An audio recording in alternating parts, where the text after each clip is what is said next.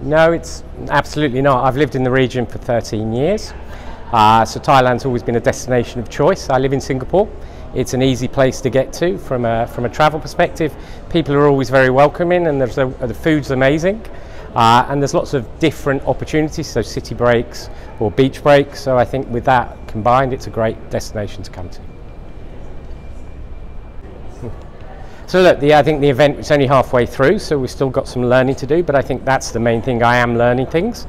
I've been in the industry, the travel industry for many years, um, but never been to an, uh, a forum or a, um, a symposium in uh, specifically from a travel perspective that uh, rests itself on sustainability. So I think the subject is amazing, the, the speakers and the content has been great. So for me to learn about it, uh, it's been very important to be here.